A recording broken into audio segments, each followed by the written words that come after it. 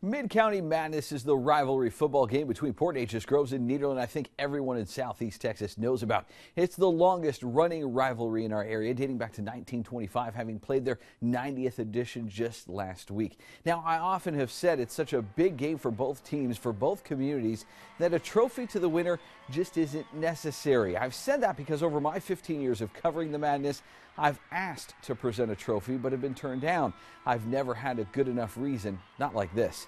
In honor of the late coach Bum Phillips, Mid County Madness will now include the Bum Phillips Bowl. The game played on Friday nights will be in honor of the legendary Southeast Texas coach with a trophy, something similar to this rendering, awarded to the winning team from here on out starting next year.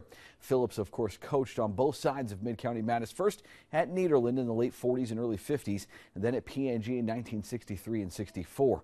Port Arthur News sports editor Bob West helped make the Bum Phillips Bowl become a reality. I'll let Bob explain how that happened. Mike, I'm almost embarrassed to say it's not my idea because I've known Bum since 1969. But actually, the idea came from a young lady named Dawn Fournier at Neches Federal Credit Union. And I said, we've got to do this. Immediately jumped on it. Started with the two ADs at the two schools, uh, Brandon Faircloth and Larry Newman. They, they immediately saw what the value of this was talked to Bum's widow Debbie, talked to Wade Phillips, his son. Everybody was just blown away with the idea. And I'd want to point out this is in no way trying to take away from mid county madness. That, that's a feeling, it goes on year round, it's the build up to the game.